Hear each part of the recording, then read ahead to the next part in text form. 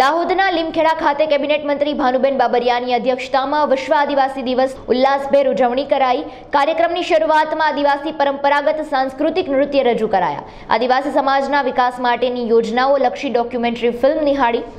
તાપી જિલ્લામાં સોનગઢ તાલુકાના ગુણસદા ખાતેથી રાષ્ટ્રીય કક્ષાના આદિવાસી દિવસનો કાર્યક્રમનો શુભારંભ કરાવ્યા બાદ દેશવાસીઓને વર્ચ્યુઅલી સંબોધતા મુખ્યમંત્રી ભૂપેન્દ્ર પટેલના જીવંત પ્રસારણને ઉપસ્થિત લોકોએ નિહાળ્યું. કાર્યક્રમમાં આદિવાસી સમાજના વિશિષ્ટ સિદ્ધિ મેળવનાર પ્રગતિશીલ પશુપાલકો, ખેડૂતો, વિદ્યાર્થીઓ, કલાકારો સહિત રમતવીરોને પ્રશિસ્ત પત્રો એનાયત કરી સન્માનિત કરાયા. કાર્યક્રમમાં જિલ્લા કલેક્ટર ડોક્ટર હર્ષિત ગોસાવી, અધિકારી લાભાર્થીઓ સહિત મોટી સંખ્યામાં સમાજના ભાઈઓ બહેનો ઉપસ્થિત રહ્યા.